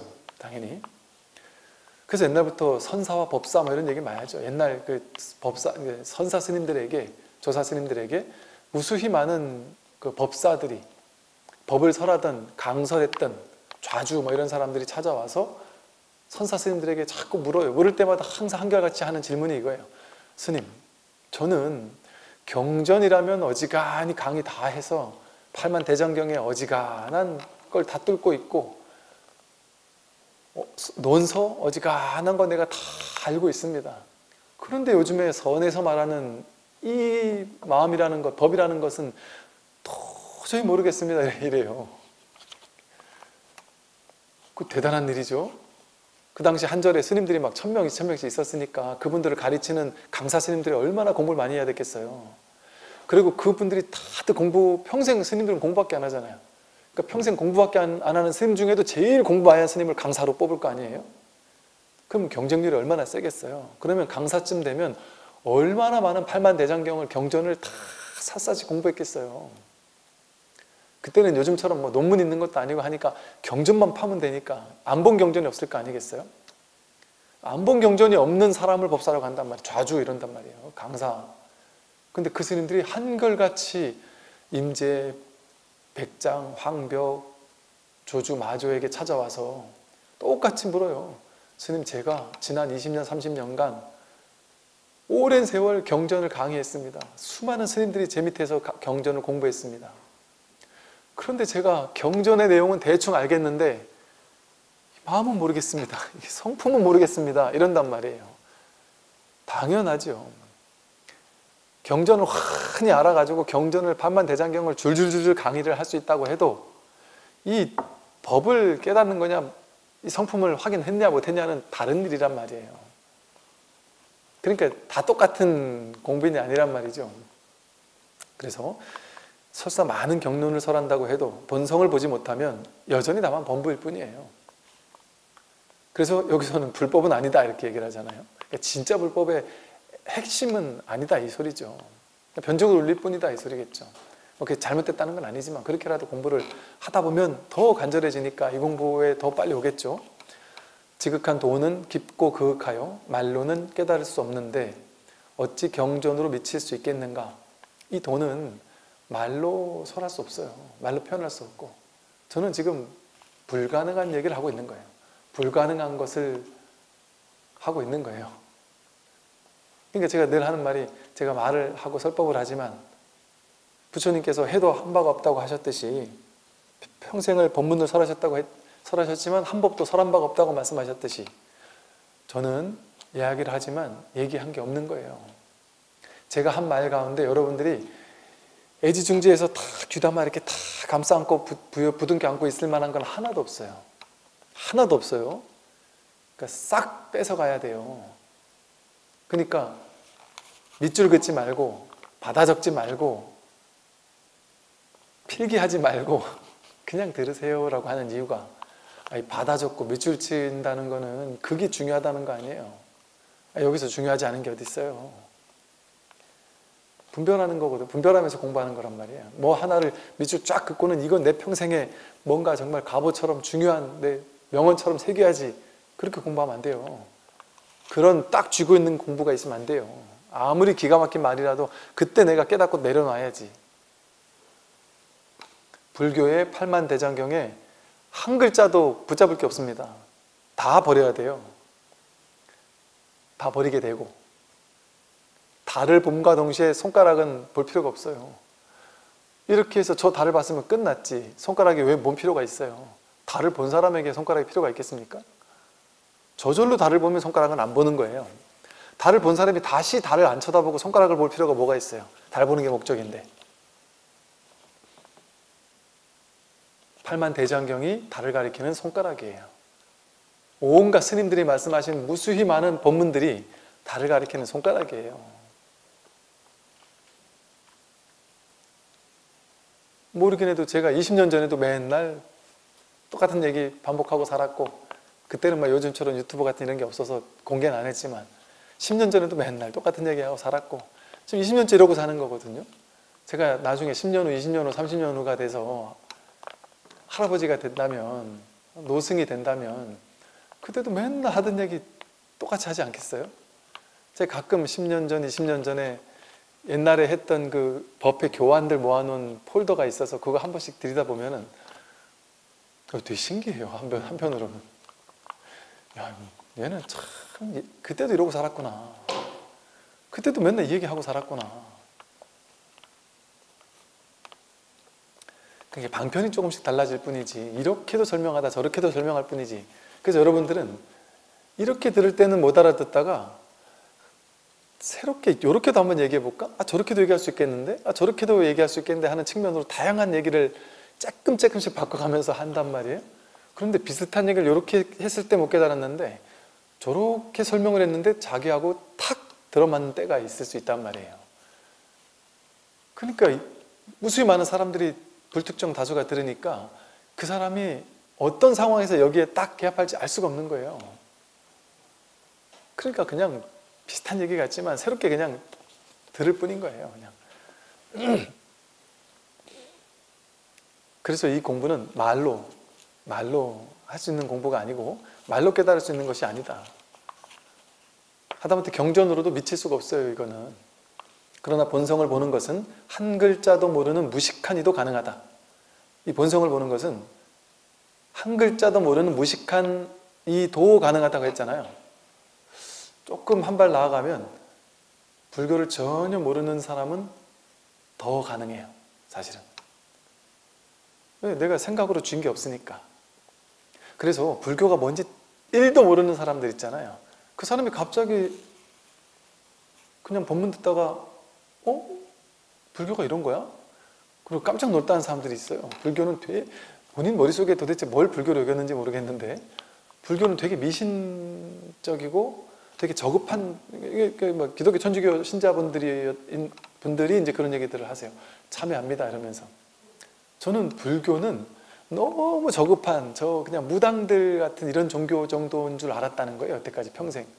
그래서 이게 이, 이 교회 성당은 되게 고급 종교인데 서양에서 온 아주 고급 종교인데 불교는 너무 유치한 저급 종교라고 생각하면서 불교를 믿는 막 이렇게 기도하는 사람들 보면 아주 불쌍하고 아, 저들이 죽으면 지옥 갈 텐데 싶고 저 어리석은 사람들 싶고 구제도 안 될 사람들 이렇게만 생각했단 말이 얘기를 하는 거예요.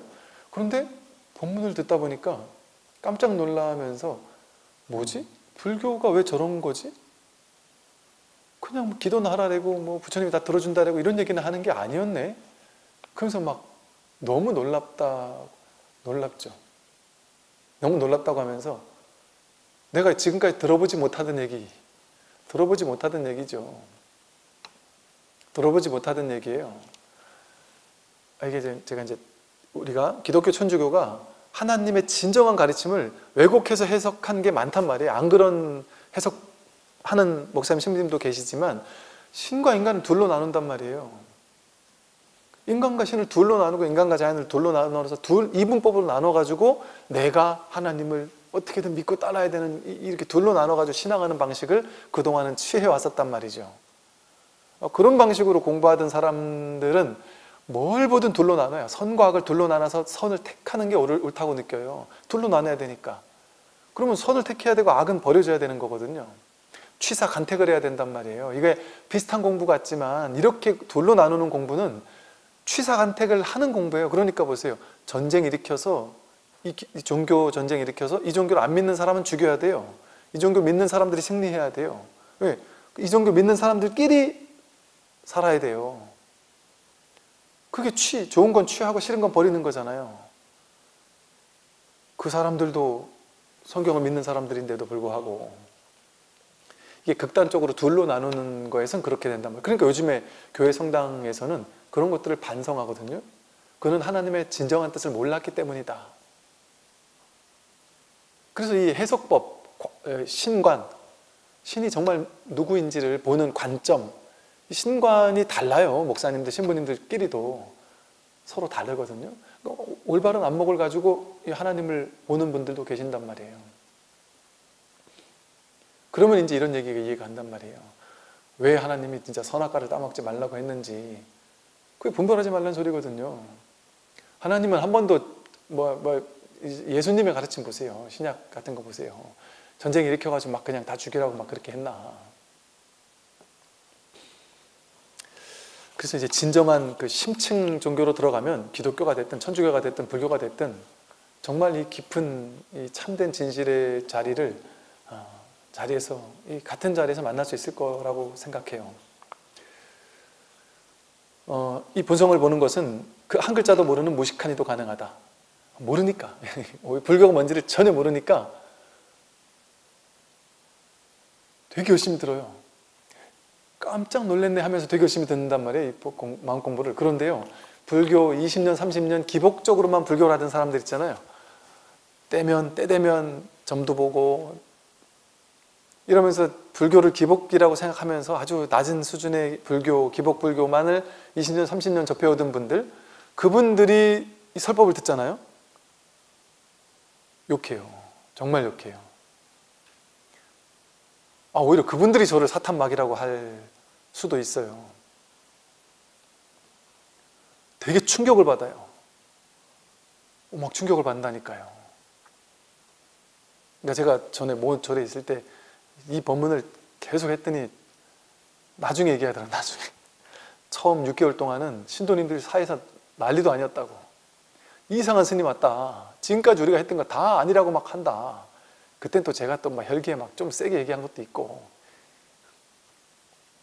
그러니까 본인이 여태까지 했던 막 기도 막 이랬던 것들이 전부 다 물거품이 되는 것처럼 느껴지니까 너무 충격을 받았던 거예요 그게 불교 아니다 하고 막 진짜 불교를 만나야지 하면서 처음엔 좀 세게 얘기를 했더니 되게 충격을 받더라는 거예요. 근데 그 충격이 한두 달 가면 없어지겠지 생각했는데 이게 한 6개월 가더라는 거죠. 그러니까 30년 동안 이게 불교라고 믿었던 사람이 그게 아니라고 하니까 이게 충격을 받 6개월도 빠른 거죠. 그 업습이 6개월 만에 해결됐으면 다행이죠. 이게 탁 돌아서지 이 공부 정말 열심히 하, 게 되더라 하는 게 한 1년 넘어야지 그렇게 돌아와서 공부를 하더라는 거죠. 그러니 그런 고정관념 있는 분들은 이 달마 혈맹론의 얘기가 머리 안 들어와요. 제가 제 얘기라고 하면은 제가 이상한 외도라고 느껴질 수 있잖아요. 근데 저보다 이 달마 스님 말이 더, 더 충격적이지 않아요? 더, 더, 더 충격적이죠? 아니, 부처님께 예배하는 것은 외도의 짓이라 그러잖아요. 육조 단경도 보면 되게 파격적이죠? 그 헬로붓다TV 올린 영상 중에 막 뭐 20만 클릭을 넘게 한 독보적으로 제일 많은 사람이 본 영상이 있더구만요. 그게 그게 제목이 뭐 지옥도 없고 뭐뭐 뭐 이런 뭐 지옥이라는 건 없다 뭐 이런 얘기를 하니까 이제 사람들이 막 막 구름대처럼 많이 영상을 보면서 댓글에 욕을 엄청나게 달아놓으셨더라고요. 이 땡중놈이 왜 지옥이 없다 그랬느냐 지옥이 있다 지옥 없다는 얘기 하지 마라. 지옥 분명히 있다. 심지어 저만 욕하면 모르겠는데 육조 스님을 욕하면서 육조 스님 같은 어? 한국 불교 이래서 안 된다. 육조 스님 같은 육조 해능 스님 같은 이런 이상한 중을 따라가지고 이 선불교 자체를 욕하고 막 이런 사람들도 있더라니까요. 그렇게 된다니까요. 그게 정상이에요, 그게. 그게 뭐 문제라고 제가 하는 얘기 아니에요. 정상이에요, 그게. 왜? 그런 고정관념을 깨지는데 오랜 시간이 필요해요. 욕해요. 왜? 내가 여태까지 세워놨던 그 축적해놨던 자아상이 깨지는 얘기를 하니까 받아들이고 싶지 않단 말이에요. 그 좋은 현상이에요. 그렇게 욕을 한다는 건 그만큼 내가 뭔가 이게 지금 무너지고 있는 조짐이거든요. 그러면서 이제 하나하나 깨지는 거예요. 그러면서 이제 내가 무너져 내려요. 아직 시작도 안 한 거예요, 시작도. 내가, 그렇게 내가 여태까지 쌓아놨던 오치온이라는 위대하다고 생각하는 나라는 게 하나둘 무너져 내리고 깨지기 시작해야 돼요. 그래서 내가 끝끝내 쥐고, 쥐고 싶고 쥐고 있던 것들을 싹 뺏어간단 말이에요, 선에서는. 싹 뺏어가 버려요. 하나도 주는 게 없어요. 다 뺏어가야지 비로소 자유로워져요. 비로소 진짜 자기가 누군지를 깨닫게 된단 말이죠. 그래서 오히려 전혀 모르는 사람들은 이 법문 들으면 그런 욕 안 해요. 왜 불교가 뭔지 몰랐는데 이 얘기를 딱 들으면 아 이게 불교인가 보다 훅 받아들여요 그냥. 아, 놀랍더라고요. 불교 1도 모르는 사람이 이 법문을 듣고 이해되세요? 한 30년 공부한 사람도 이해 안 된다던데? 그랬더니 어? 이해되는데요? 훅 받아들이더라고요. 되게 빨리 받아들이더라고요. 그래서 제가 야 진짜 몰라도 상관없구나. 그냥 어설프게 불교 아는 것보다는 차라리 모르는 사람이 날 수가 있겠다. 그 생각도 든다니까요. 여기서도 그러잖아요. 본성을 보는 것은 경전 공부하는 것은 모르는 사람은 택도 없어요. 못해요. 경전 학문적으로 공부하는 건요. 여러분 몇십 년 공부해야지만 잘할 수 있어요. 그 이해돼요. 아이고 금강경, 화엄경 같은 거 어떻게 이해하겠어요? 모르는 사람이. 이해 못합니다. 지식이 없으면 이해 못해요. 그런데 경전이 가리키는 낙처를 그냥 본인이 깨닫는 거, 본성을 보는 거, 그거는 무식한 이도 가능해요. 그렇게 옛날에 무식한 사람이 깨닫는 얘기는 많잖아요. 부처님 당시도 누구예요? 그 딱다가 청소질 하다가 바보, 천하의 바보가 청소질 하다가 깨달았단 말이에요. 그런 식으로 바보 같은 무식한 사람들이 깨닫는 얘기는 너무 많아요. 어떤 근세, 어떤 큰 스님께서 원문을 설하셨는데 즉심시불이다 이렇게 한문으로 유식하게 즉심시불이다 곧장 그 마음이 바로 부처다 맨날 즉심시불이다 즉심시불이다 하니까 그 동네 공부도 하나도 안 했던 할아버지가 맨날 와서 법문 듣다가 가는데 즉심시불 이런 한문 한자 이런 걸 모르는 거예요. 그러니까 뒤에서 이렇게 귀도 먹먹한데 스님이 맨날 집심시불이라 그러니까 그 스님 그 할아버지가 잘못 들은 거예요. 야 내가 절에 가니까 하, 이 스님이 집신이 부처라 된다. 아 집신이 부처구나. 맨날 신고 다니는 집신. 집신이 부처구나 집신이 부처구나. 왜 집신이 부처일까? 하, 왜 집신이 부처일까? 저렇게 큰 스님께서 집신이 부처라고 하는 데는 분명히 뜻이 있을 텐데. 하, 왜 집신이 부처냐? 왜 집신이 부처냐? 여기가 여기에 그냥 화두에 사무쳤다가 문득 깨닫, 깨닫고 나니까 집신이 부처더라는 거예요. 그렇게 깨닫는 거예요. 공부하는 게 아니에요. 그래서 화두는. 그러니까 옛날 스님들, 화두 가르치는 스님들께서는 공부하지 마라, 문자 보지 마라 이랬단 말이에요. 차라리 문자 안 보는 게 낫다 이렇게 얘기하는 분도 계신단 말이죠. 그래서 막, 막 문자 보는 것보다 자기 성품 확인하기 전까지는 그냥 법문만 듣는 게 좋아요. 막 이것저것 공부하려고 막 불교 지식 쌓으면서 막 이것저것 공부 막 다 하면 하나하나 차근차근 내가 불교를 알아가겠지? 그건 이제 나중에 공부 끝나, 자기 성품 확인하고 나서 그때부터 이제 재미 삼아 보면 돼도 그전에는 막 교리 공부 굳이 안 해도 돼요. 그냥 들으면 돼요, 그냥. 정리 안 해도 돼요. 교리와 교리 간의 연결 이런 거 몰라도 돼요. 그냥 들리는 것만 들으면 돼요. 모르는 건 모를 뿐 하고 모르는 거는 모를 뿐이니까 더 좋고 들리는 건 그냥 듣고 그래서 가장 쉽게 공부하면 돼요. 그래서 견성하면 곧 부처이다. 그 성스러운 본바탕은 본래 청정하여 더러움이 없다. 모든 말씀이 다 성인의 마음에서 일어난 작용이지만 작용이니 본체니 하는 것도 본래는 다 공하다. 말로는 미칠 수가 없으니 12부경이 어찌 미칠 수가 있겠는가. 모든 부처님의 모든 말씀, 모든 경전, 모든 어록 이게 다 성인의 마음에서 일어난 작용이죠. 그런데 작용이다, 뭐 번체다 이게 따로 있는 게 아니에요. 부처 중생이 따로 있는 게 아니에요. 성스럽고 천한 게 따로 있는 게 아니에요. 다 하나의 바다, 하나의 바다, 하나의 성품, 하나의 물결 모든 물결은 하나의 바다에서 나왔다, 나왔듯이 부처도 여기서 나왔고 중생도 여기서 나왔단 말이에요. 중생이 없으면 부처는 없어요. 중생이 있으니까 중생에 상대해서 부처라고 방편을 썼을 뿐이에요. 여러분은 부처를 깨달을 건 없어요. 그냥 분별을 해결하면 돼요. 분별에 끌려가지 않으면 그게 부처지. 부처는 그냥 우리의 본래 있던 성품이니까. 그러니까 본래 성품이라고 하죠. 그냥 부처는 깨달을 필요가 없어요. 어- 얻을 필요가 없어요. 가- 성취하거나 얻거나 가지거나 깨달을 필요가 없어요. 부처는. 그러니까 부처를 붙잡고 매달릴 필요 없어요. 자기 분별이 깨지는 공부예요, 이 공부는. 자기 분별이 깨지면 돼요. 분별을 확실히 보는 공부예요. 부- 그러면 분별이 공한 줄 알아서 분별에 끌려다니지 않는단 말이에요. 그러면 아 본래 부처였는데 내가 쓸데없이 분별에 끌려다니니까 중생인 줄 알았구나. 끌려다니지 않으니까 본래 있던 부처예요. 원래부터 본래 있던 부처구나.